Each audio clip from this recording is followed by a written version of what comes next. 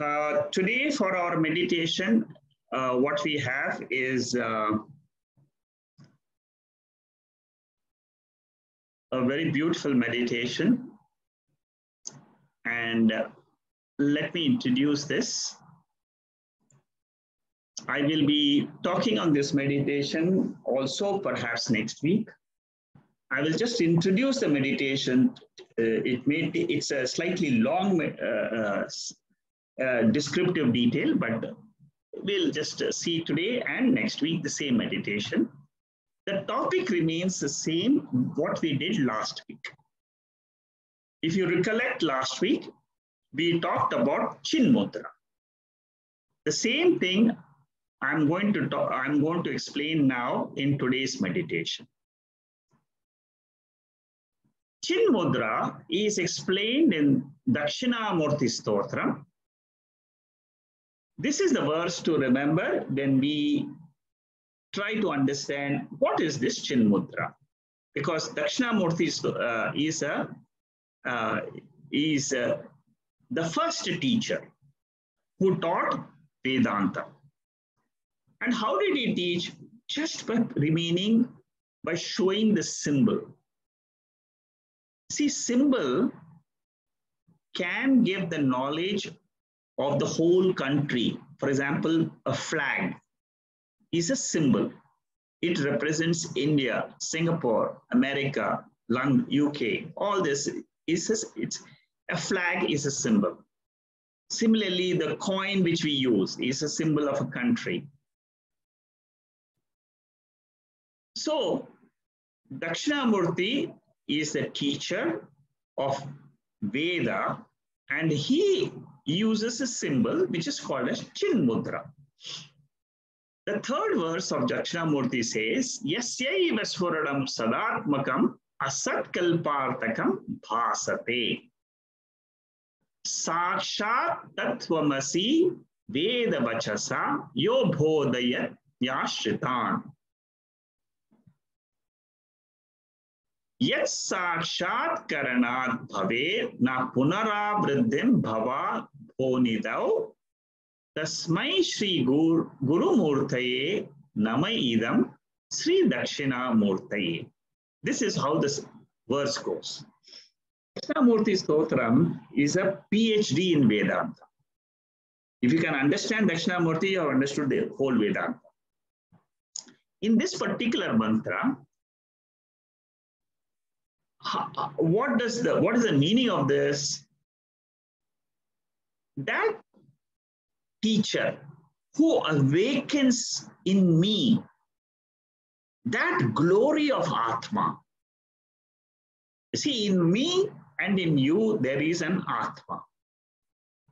But that teacher who tells me the glory of this atma in me how does he teach this? By profound silence, he does not speak.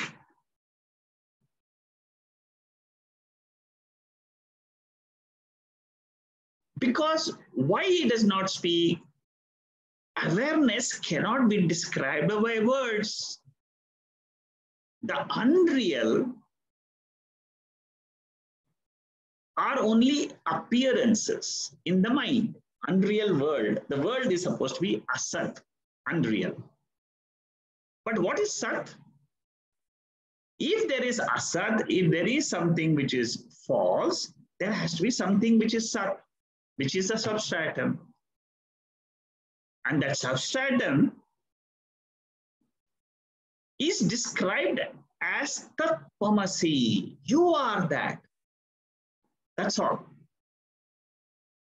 Tat Tvam Asi. You are that is the word of the scriptures. Chandogya Upanishad. This is straight from Chandogya Upanishad.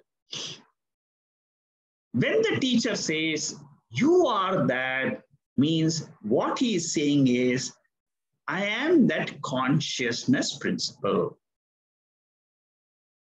This is what Dakshinamurti is teaching us through his Chin Mudra. I will then get the direct knowledge, direct experience of that pure state of Brahman. If I get that knowledge of Brahman, what will then happen? That is mentioned here, the phalam of learning Brahma Vidya. What is the greatest phalam? My delusion about myself and the world will be gone.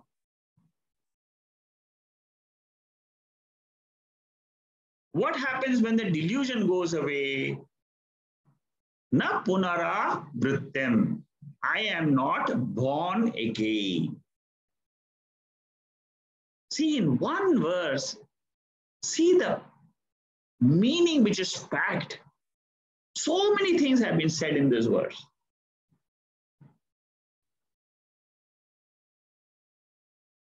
So, what is the best way to have get rid of samsara, to get rid of rebirth, is understand Dakshinamurti Stotra. Very profound, very, very profound. I'll give you, this is the picture of Dakshinamurti. You can see the photograph. His right hand is got a chin mudra. This is the picture which I visualize in my meditation. The Lord with chin mudra. And what is this chin mudra? I explained last week also, the chin mudra, the, the three fingers represent the Prakriti Tattvam, the three Sharirams, or the three Avasthas, waking, dream, and sleep. The index finger, if it is not touching the thumb, will be straight. It will be touching the three fingers. That means it will be joined along with the three avasthas. The index finger is called as the Jivatma. If the Jivatma joins the three Sharirams or the three avasthas, that Jivatma is, is a samsari. He is the, he is uh, leading a false mithya life. But if he touches the thumb, that index finger, the Jivatma touching the thumb, indicates Jivatma Paramatma Aikyam. The thumb represents the Paramatma the higher nature, which is the reality, which is called as Brahman. Paramatma and Brahman are the same. Brahman is a term used when there is no upadi. When you are seeing your body, mind, and universe, it is called as Paramatma. So this is the significance of Chin Mudra. what I will do is I will stop here with the significance. I will continue this because I want to explain to you the Mahavakyam Tattvamasi. This is in continuation of chapter 3 of Panchadasi because ultimately the third chapter is teaching us I am that Satyam Jnanam Anantam Brahma. Okay, so we will continue this meditation notes and the meditation we will continue next week also. This is a very profound meditation. If you follow the notes, if you follow the meditation process, there is no doubt that you will reach your own true self. So please close your eyes.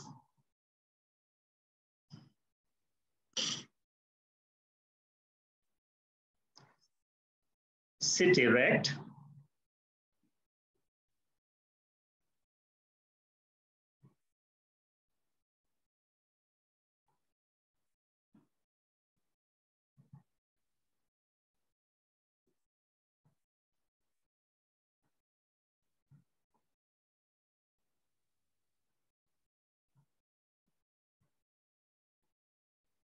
I am aware of the breadth in this body.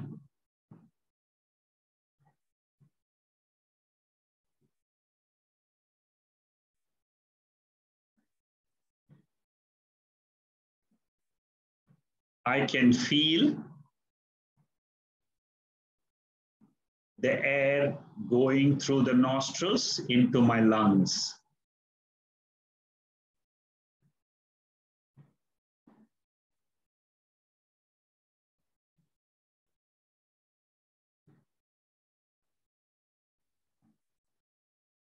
This process of watching the breath is called as prana vikshanam.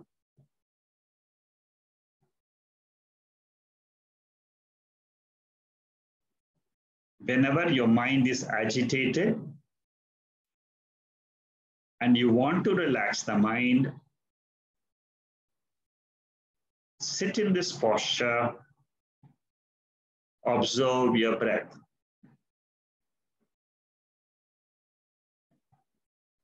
For those who meditate, observing their breath for a length of time, maybe for a month, you will observe that your agitations in the mind will drop. The rajas aspect of the mind is reduced.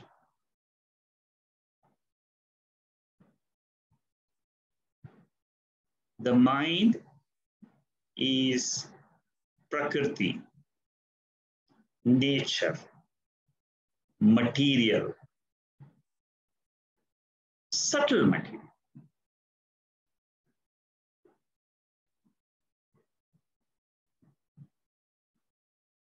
Made up of panchabhutas.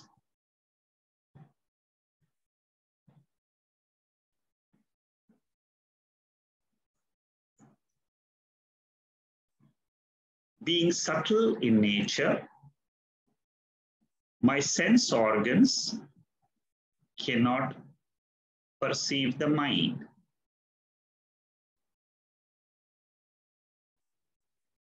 The senses are gross, mind is subtle.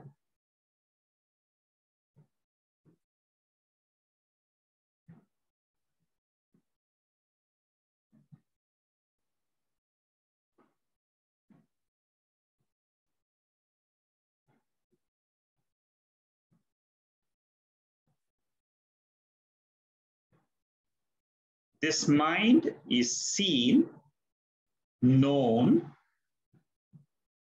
by Sakshi.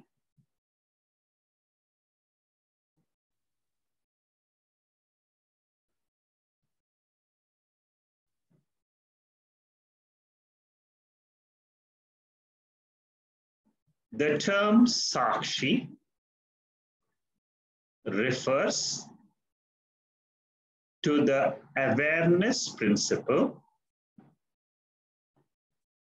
which is reflected in the reflecting medium called the mind.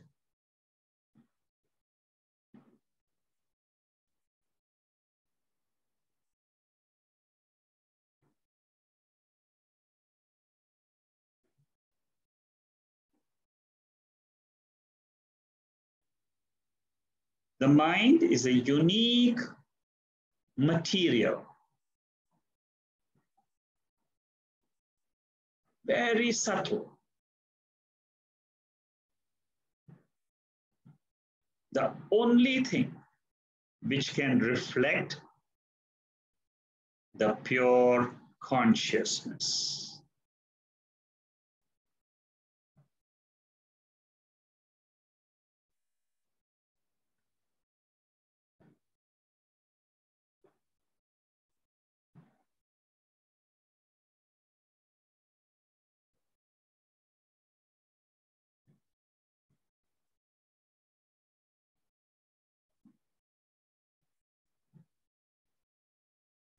I, the Sakshi, can differentiate the three states of the mind.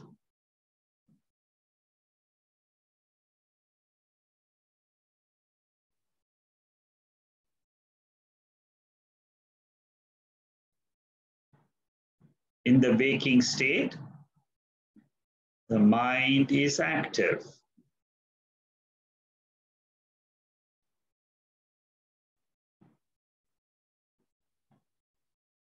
It wakes up the sense organs and experiences the physical objects.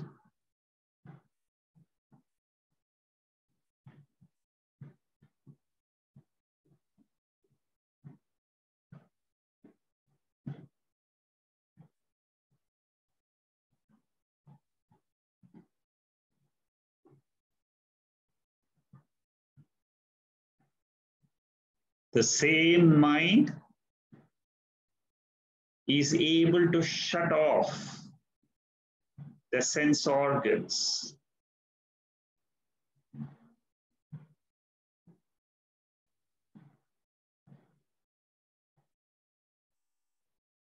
It can experience the dream, which are the mind's projections.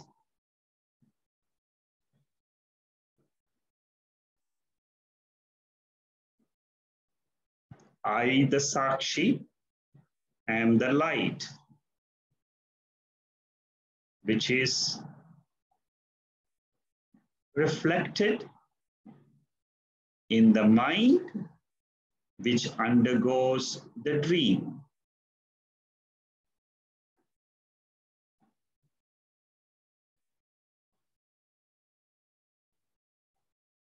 There is no change in the Sakshi between the waking and the dream state. It is only a witness.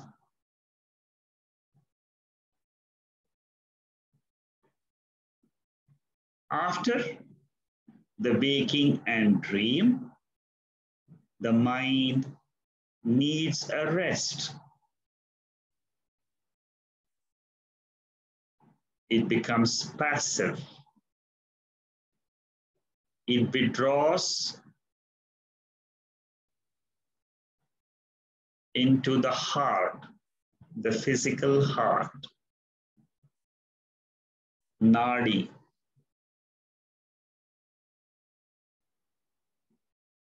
Very fine nadis in the heart hold the mind in sleep state.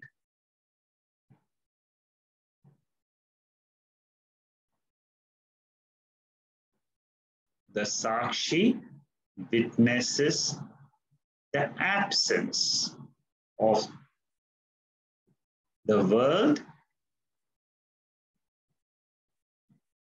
absence of awareness of the body and mind in the sleep state.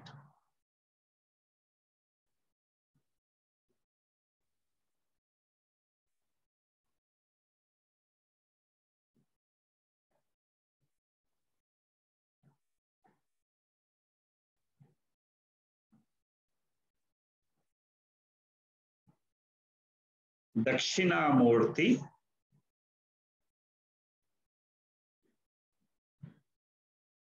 Teaches all seekers of Brahma Vidya. Through his Chin Mudra.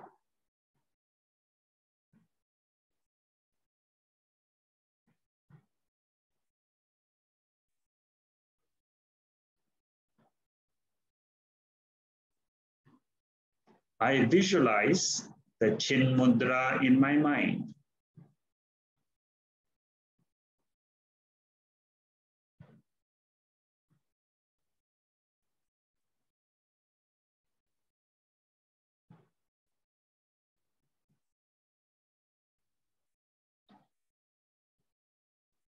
the three fingers which are not bent reflect the three states of waking, dream, and sleep.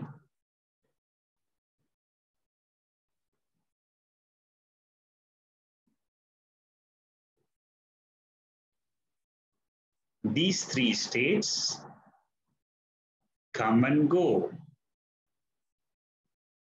as per the law of the cosmos.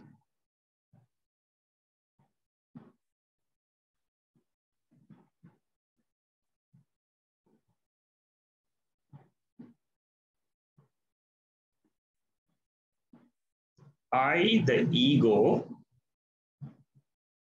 which is called as the waker, dreamer, sleeper,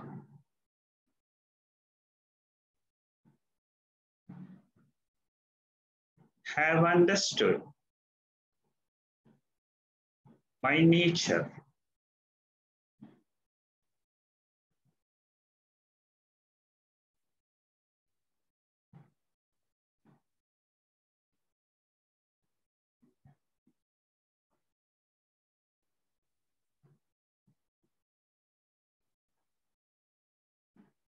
I no longer take the three states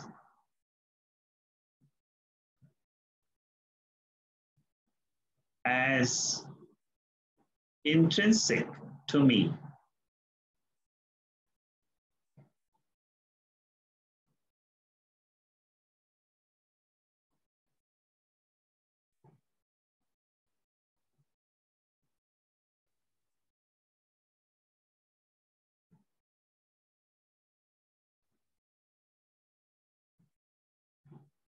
There is a Sakshi which is changeless, pure, unaffected, unattached, like the space.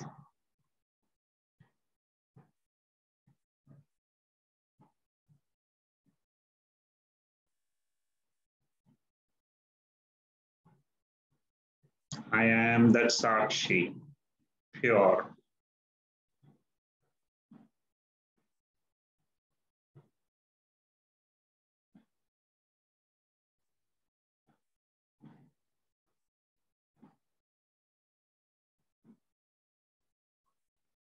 I am one with Ishvara.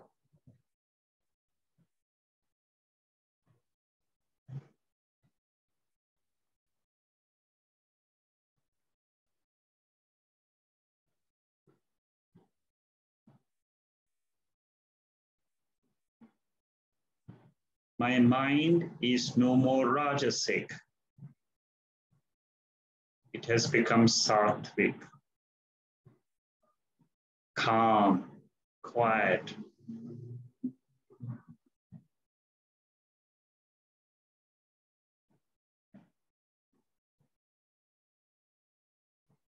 I can enjoy my own bliss in this pure state.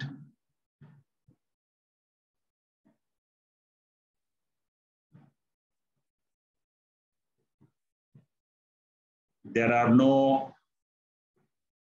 vishayas, no objects.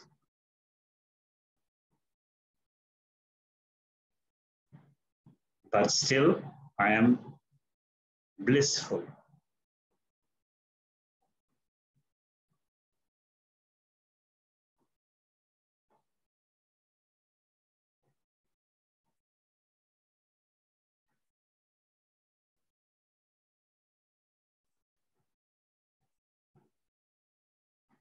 I am Sat principle, pure existence.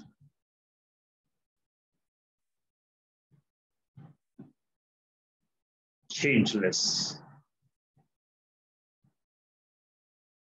immortal,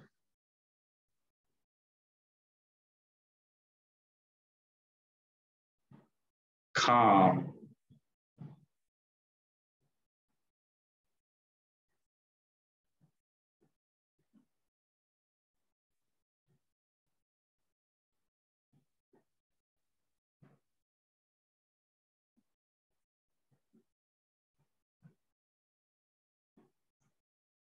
Om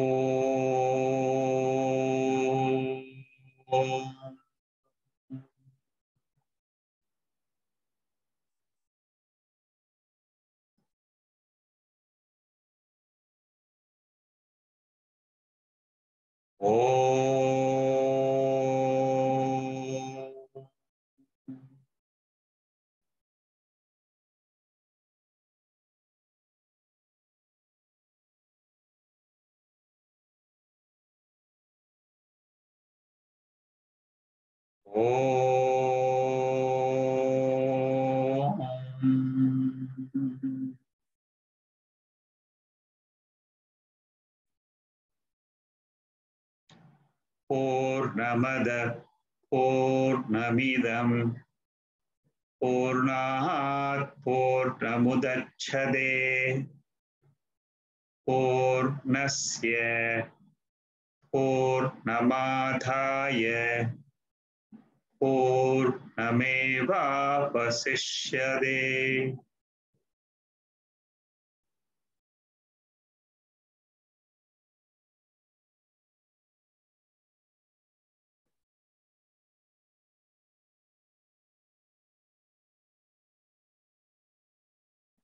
Om Shanti. Shanti Shanti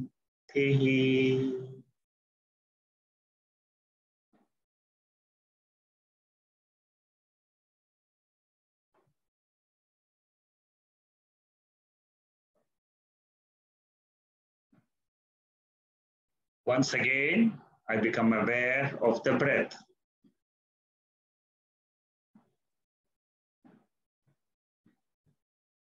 I become aware of this body.